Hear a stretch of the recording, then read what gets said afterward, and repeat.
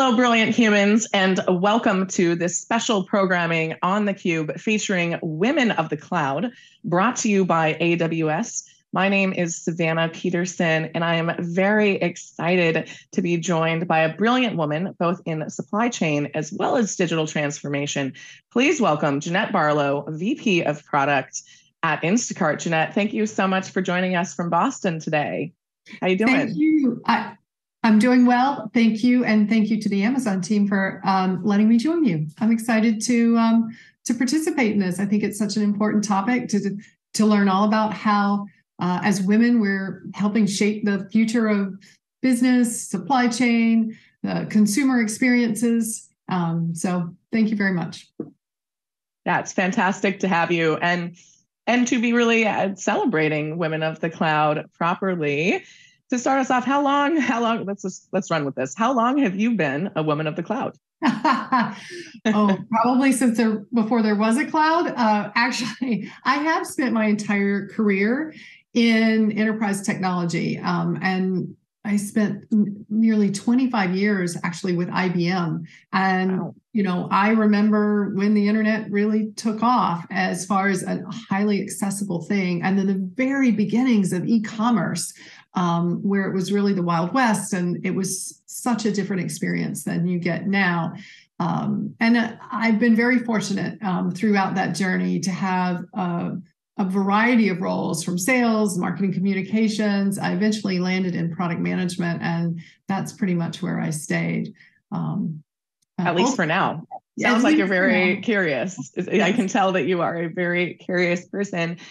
Since you've been around for what I would consider a, an impressive period of time in an industry, especially when there were not a ton of women to reference or receive mentorship from. What was the initial catalyst or spark or inspiration for you to pursue a career in, in technology?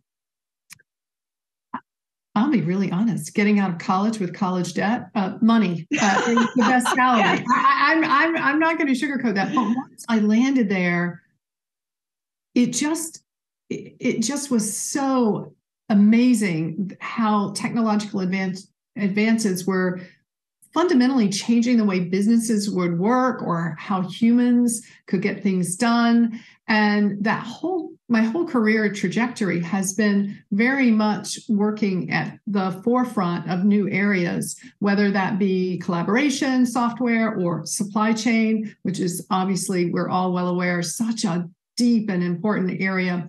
Um, and even uh, low code workflow automation uh, before I came to Instacart. I love the transparency there, an indicator of a great leader and, and that level of authenticity. Were there any hurdles that you felt you had to overcome in the beginning, or was the curiosity enough to power through the initial first few years that are always tough for anyone, no matter their gender or career?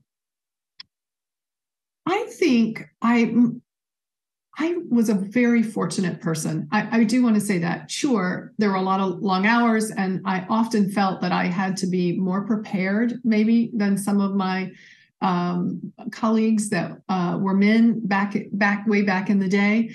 But I had the very good fortune of working for companies throughout my history that really believed in uh, an equitable and respectful workplace. And I had wonderful mentors, both women and men along the way, who really were there to help develop talent. So I never felt that I had sort of a glass ceiling. Um, I, I definitely felt that I had to, to sit there and assert uh, a point of view um, at times. But mm-hmm. I've seen this whole industry and space change. And it's not just gender, but also um, racial backgrounds, educational backgrounds, that neurodiversity. I'm now seeing a much greater respect for listening to that chorus of voices because we do get better, much better outcomes that way. Absolutely. I, I couldn't agree more. And I'm happy to hear that you've been supported along your journey. I think the industry can definitely get a bad rap. And, and there are a lot of people paving the way for us. I want to talk a little bit about supply chain because I don't know about you, but for me, I don't think there were as many people talking about the industry and probably what you do say four years ago as are now. How did you find your way into supply chain and what is it about helping that be more efficient that excites you? Yes, there's nothing like a shortage of toilet paper to get people to, to understand what supply chain means. Um, and I, as as tough as those times were, especially at the beginning of the pandemic and the uncertainty, it was so exciting for those of us in supply chain because suddenly people got what we did, like, and they were mm-hmm. interested in hearing about it. So um, I, I, really, I really have. Uh, we did enjoy that. I got exposed to that because ultimately, I served as the vice president of um, product management and strategy for IBM Sterling Supply Chain, which is a, a very large brand within the IBM portfolio, serving over 10,000 clients worldwide. Really focused on their omni channel order management and their other supply chain processes around order to cash, procure to pay, um, logistics, and things like that. And when you start to learn about the intricacies and that choreography needed across so many players in the value chain, it, it's an absolutely fascinating puzzle. Um, and.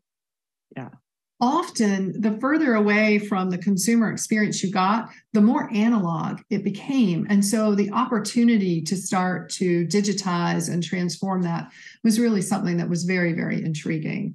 Um, and now here at Instacart, the opportunity to sort of parlay that into one of probably the most complex supply chains that there are grocery, food, um, just adds another yeah. level of um, excitement and uh, intrigue to to to the work.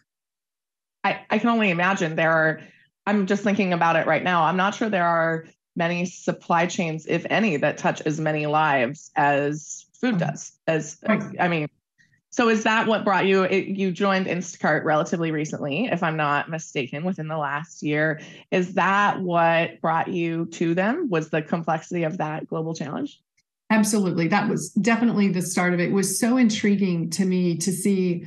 Uh, to the more I learned about Instacart when they approached me, was also they're really changing an industry that's been very static for many many years right? And they're fundamentally yeah. reshaping that industry. Um, one that's as you said is is crucial to the everyday lives of pretty much everyone. Um, and i was intrigued by that but i was also intrigued by the breadth at which they're approaching this not just the marketplace but how we're helping retailers um, through our Instacart platform actually reach their consumers in ways that they like to shop, whether it's online or in the store. Um, we're also very, very committed to not just serving from a convenience standpoint, but actually improving access to healthy and nutritious food for, for as many people as, as might need that. So it just core to the the complexity of the problem, the criticality of it, but also just frankly speaking to the core of who Instacart is as a company, um, I, it just felt like it was like a culmination of a lot of things to have this opportunity to work here.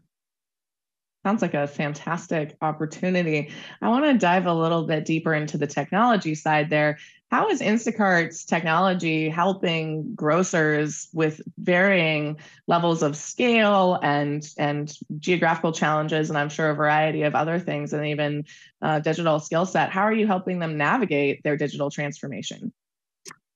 You know, this is probably one of the sectors that um, lags behind other retail sectors as far as digital transformation. And when it, it, the progress that's been made over the last four years is is tremendous, and the road ahead is still uh, the before us is still a, a long way to go. I mean, Instacart built the world's largest grocery marketplace, if you want to think about that, and so we have more than ten years of experience in understanding the complexity of that with again a supply chain that is very very complex. So last spring we announced the Instacart platform as as a way of really putting a name to a lot of work we were already doing and it's all about uh, opening up the capability and the technology that we have to help grocers reach their customers directly as well as through our marketplace. So um, we help grocers like Publix, Wegmans, the Fresh Market, just hundreds of grocers build out their own storefronts, their own mobile apps that we are actually powering for them. Um, we help them create some very unique fulfillment models that might serve customers or be new market opportunities. Um, certainly, we have the traditional full, full service shop, but we also have virtual convenience that can enable delivery in minutes and in certain ge- geographies and demographics. That's you know really important. Um, we are even going in the store with our connected stores technologies that we announced earlier this year. And that is everything from smart carts to scan and pay to wayfinding that it just it's a lot of very interesting work we're doing um, and we're very very fortunate to be able to partner with some of um, the best and brightest uh, grocery retailers out there, as well as retailers in other other verticals as well. But grocery store sort of our core. Yeah, I, I, I can only imagine some of the conversations that you have and the user behaviors that you get to learn about as people are on their food journey. You teased a little bit there about what's coming next. What else do you think is in our food future? Well, I think, you know, the pandemic pushed uh, the grocery industry to get online, to start to digitally transform itself. Um, but we believe it's not an either or. Uh, there are virtually no one that's exclusively online. And we know more and more there's no one that's ex- exclusively you know only in the store we really expect to have that blend and i think as long as we're very very savvy about understanding understanding the our, our retailers needs as well as their customers needs on how they can really traverse seamlessly between whether they're online or in store, how they can have an engaging experience that's consistent to the brand of the retailer, mm-hmm. how they mm-hmm. can be rewarded for their loyalty, how they can be encouraged to try new things, and just have a much more engaging experience with that grocer because food is a very uh, emotional sort of buy, right? I mean, it, it's a very sensory rich. And so, sort of, I think you can go ahead and just make that claim. I think for a right, lot of people, You're yeah, totally yeah, right. yeah, it is. Yeah. Right. We're passionate about our brand of this or that, or we want to touch or smell or do things like that. So, there's a tremendous amount of innovation you get online, like personalization um, and other things that you don't get when you get and you walk into the store everybody's got the same end cap like i see the same end cap as you see and we might be very different. And then vice versa i get a very much a sensory experience when i'm in the store right? That i don't have as how do we blend that? And so there's some really interesting things that we're working on with our retail partners to embrace that omni-channel approach. So we create that flywheel of experience and innovation uh, between the two. So i think i think you're going to see a lot more focus on an omni-channel uh, experience mm-hmm. that traverses between the on and the in online and the in store. Yeah, I, so I, I love this because you know we there's there's a continued debate around remote and in-person working, remote and in-person events, but it sounds like hybrid is here to stay when it comes to food and, and how we eat, which is very exciting. Last question for you, Jeanette. What would you say to someone, a woman of any age, who is looking at this video or maybe dreaming about a career in cloud technology? What's your moment of inspiration? You know, I think my best advice is uh, all, you know, stay curious, just, just be in love with uh, not even just the technology for technology's sake, but what the technology can unlock as far as an experience. Um, and focus on building those experiences not not only for your direct customer in my case retailers grocers but for their customer trying to understand that. And i, I think if you can connect those dots um, you know the cloud is the limit. Let's put it that way. I, will take the pun. I love that. Jeanette Barlow, thank you so much for joining us. The team at Instacart is lucky to have you. And thank you to our audience for joining us for this special program on the Cube featuring women of the cloud. My name is Savannah Peterson, and I look forward to celebrating more brilliant women like Jeanette with y'all soon.